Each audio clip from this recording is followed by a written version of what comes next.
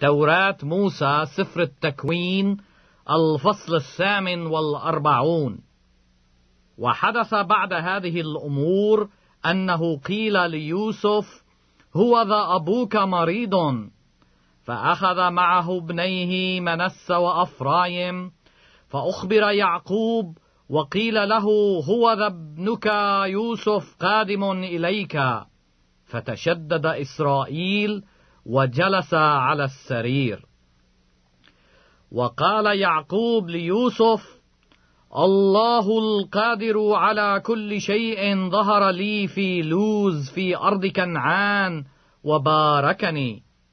وقال لي ها أنا أجعلك مثمرا وأكثرك وأجعلك جمهورا من الأمم وأعطي نسلك هذه الأرض من بعدك ملكا أبديا. فالآن ابناك المولودان لك في أرض مصر قبل ما أتيت إليك إلى مصر.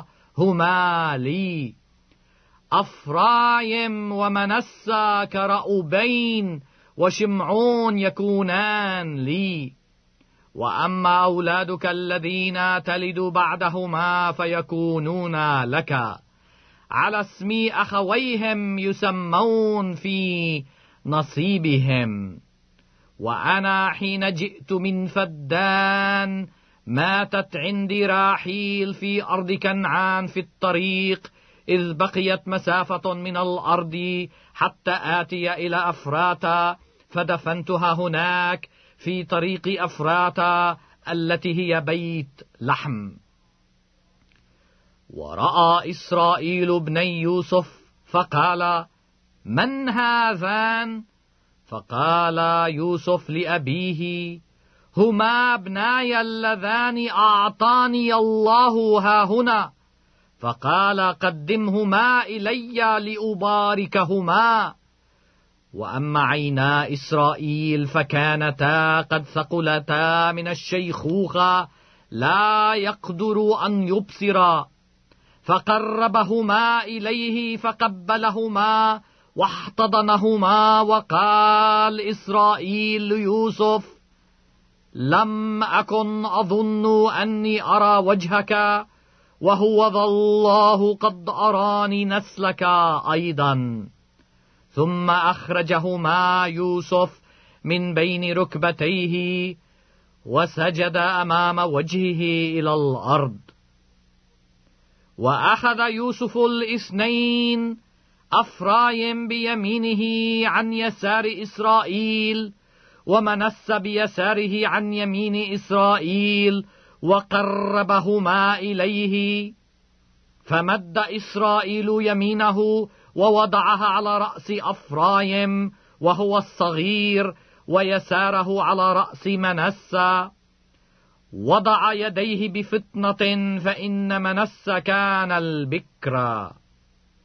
وبارك يوسف وقال الله الذي سار أمامه أبواي إبراهيم وإسحاق الله الذي رعاني منذ وجودي إلى هذا اليوم الملاك الذي خلصني من كل شر يبارك الغلامين وليدعى عليهما اسمي واسم أبوي إبراهيم وإسحاق وليكثرا كثيرا في الأرض.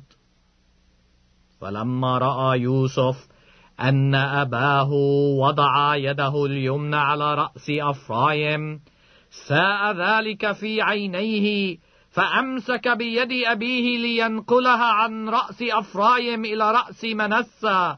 وقال يوسف لأبيه ليس هكذا يا أبي لأن هذا هو البكر. ضع يمينك على رأسه. فأبى أبوه وقال علمت يا ابني علمت. هو أيضا يكون شعبا وهو أيضا يصير كبيرا. ولكن أخاه الصغير يكون أكبر منه ونسله يكون جمهورا من الأمم. وباركهما في ذلك اليوم قائلا بك يبارك إسرائيل قائلا يجعلك الله كأفرايم وكمنسى فقدم أفرايم على منسى وقال إسرائيل ليوسف ها أنا أموت ولكن الله سيكون معكم ويردكم إلى أرض آبائكم وأنا قد وهبت لك سهما واحدا فوق إخوتك أخذته من يد الأموريين بسيفي وقوسي.